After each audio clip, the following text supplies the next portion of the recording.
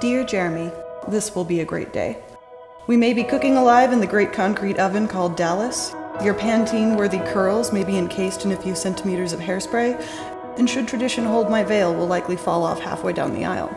But nevertheless, this will be a great day. With our friends and family, we will share deep laughs and resplendent food. We will dance like adults and watch each other's eyes light up with a love not just for one another or the incredible people surrounding us, but for life itself and all the many thousands of possibilities it's given us. Yes, this will indeed be a great day. Not the first for us, nor the last. Simply the most upcoming in a very long string of great days. We finished but one leg in life's race together, and to springboard into cliche, this is only the start of our next adventure, the launchpad for our next deep dive into the stars. This is the beginning of the rest of our lives, and I am positively giddy to spend mine with you.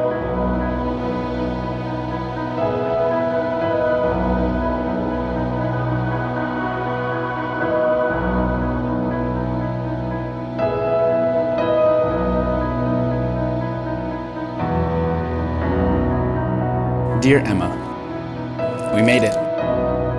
For all the boxes and application and house guests and planning, we did it.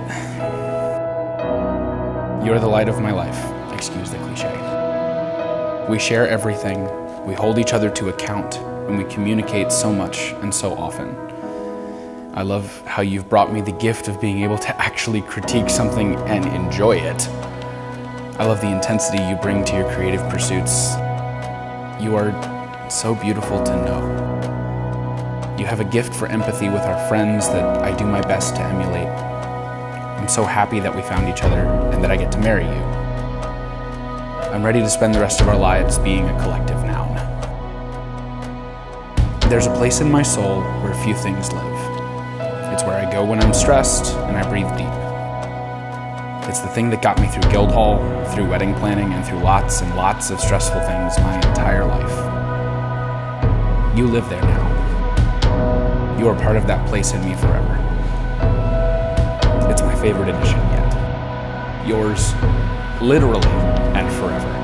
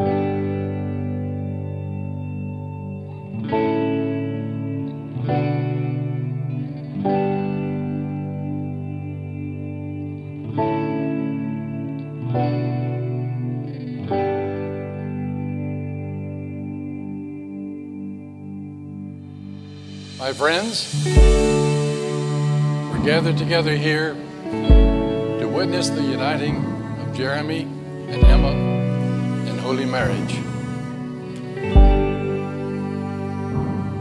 A charge to the couple.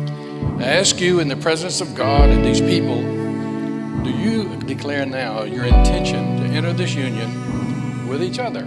Emma, will you take Jeremy to be your husband? Jeremy, will you take Emma to be your wife? To live together in the holy state of marriage?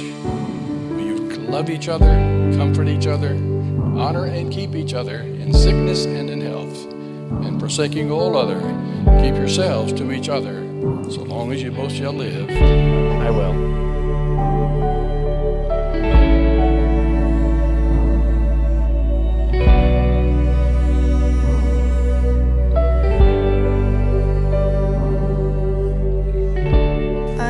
Take thee, Jeremy, to be my wedded husband, to have and to hold, from this day forward, for better or for worse, for richer, for poorer, in sickness and in health, to love and to cherish until parted by death.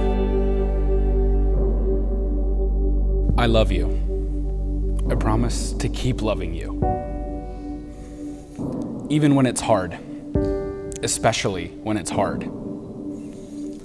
I promise to give you time to wait when you need to compose your thoughts, to give you the benefit of the doubt. I promise to talk to you. I will not shut you out. I promise to be your loudest supporter, your shield and your partner, your backup and lifeline. I promise to be your calm refuge. I promise that in everything we do, I am on your team. I promise you that I will walk beside you always. Friends, now that Jeremy and Emma have given themselves to each other by solemn vows, they have joined hands, they have given and received rings. I announce that they are now united in love. Sir, you may kiss your bride.